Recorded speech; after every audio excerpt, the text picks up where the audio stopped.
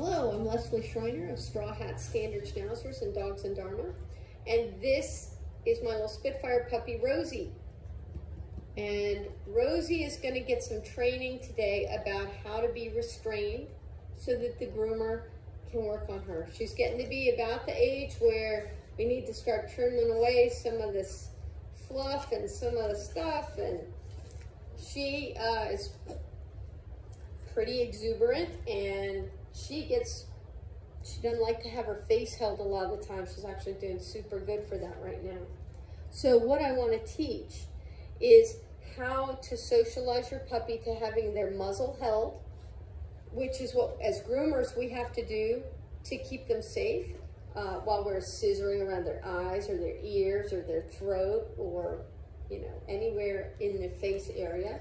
And it's also where a veterinarian will often have to lift up their head, lift up their chin to draw blood from the jugular vein. It's easier and safer, honestly, in a lot of cases than trying to do it from a foreleg. So these are all things that puppies need to learn. It's okay to have handling by somebody who's not mom or dad um, to do. And, you know, if you hold the face, they don't like it, they fuss, they try to get away. So here's a trick to teach them that it's okay. Obviously, if you're holding the face and they're trying to get away, you have no choice but to either grip tighter or let go, neither of which is a good outcome. If you let them go, they learn to fight you more, and if you just keep gripping the face, it can be scary. So, what you're gonna do is you're gonna have a collar on the dog already. I've got a little a little strap collar on Rosie.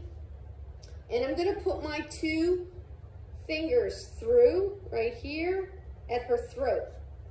And they're hooked into the collar. So they're putting pressure on the back of the collar on the back of her head.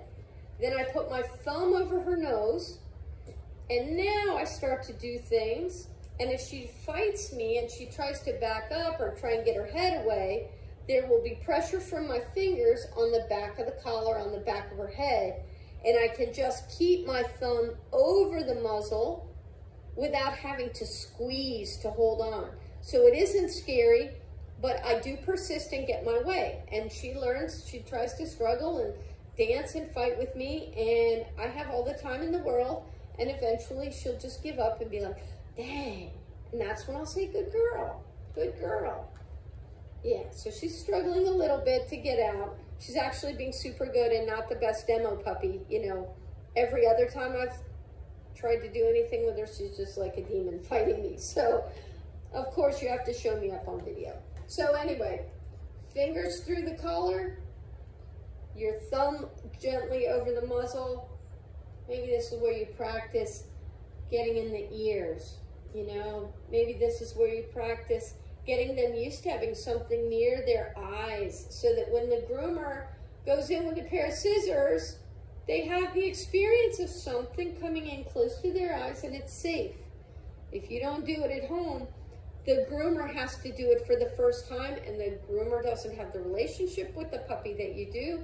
And so it's a lot harder for the puppy to learn to be trusting in that situation and it makes the groomer's job a lot harder. So set your puppy up for success and get them used to being handled.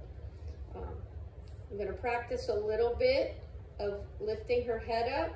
And what I'm doing is I'm holding the collar with my other hand, putting pressure just down a little bit. She fusses, that's fine, I don't let go. And I gently put her chin back up. Good girl. Good girl. Keep it short and successful. Okay, all done. Here. Do it a few times a week at least. If you could do it a few times a day, that'd be fantastic. And your pet professionals, your groomers, your veterinarians will really appreciate it.